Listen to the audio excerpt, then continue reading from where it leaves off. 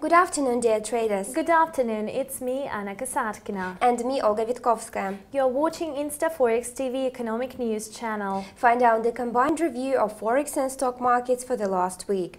Could you tell us about the American dollar dynamics, Anna? The US dollar declined versus the euro on Friday. What reasons for such trend can be named?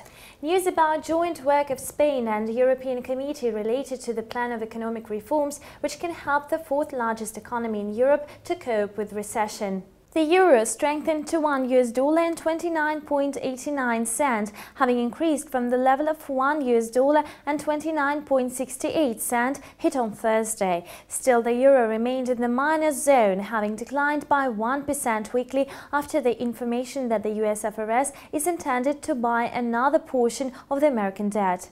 The dollar index ICE fell on Friday to 79.323 pips from the gauge of 79.428 pips reached on Thursday. For the week, the indicator ascended 0.6%. Financial Times cited the unnamed resource informing that the European Union and the authorities of Spain are developing a new pack of economic reforms for Spain, which can be revealed this week. The reforms are aimed at fulfilling conditions of the international creditors, after which Spain can count on the financial support in the form of the ECB buying the Spanish bonds on the secondary market. At the same time, the American dollar decreased against the Japanese yen and the pair was trading at 78.12 pips after last session mark of 78.26 pips.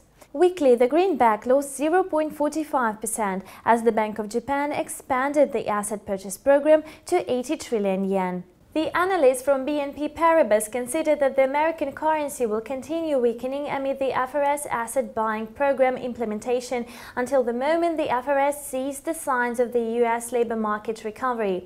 That's all I have by now. Thank you for the review of the currency market, Anna. You're welcome, Olga. How did stock markets behave? The American equity market was demonstrating ambiguous behavior on Friday. And what influenced the market performance? News from Europe regarding a possible aid pack to Spain and also the market launch of iPhone 5. Thus, the shares of Apple up moved by 0.6% after the launching of the global sales of iPhone 5 with huge queues. Moreover, because of the rush around the latest iPhone, the shares of Apple rivalry Research in Motion lost 3.4% when the producer of smartphone BlackBerry announced service disorders in Europe, Mid East and Africa. At the same time, the shares of fast food restaurants McDonald's gained 0.6% after the company had increased the quarterly dividend by 10% to 77 cents per unit. The outpayment is due on December 17 and will be allocated to the shareholders who were registered as of December 3. Thank you, Olga. You're welcome, Anna. You were watching the weekly review of the Forex and stock market presented to you by InstaForex TV team with Olga Vitkovskaya and Anna Kasatkina. Have a nice trading week. Goodbye. Goodbye.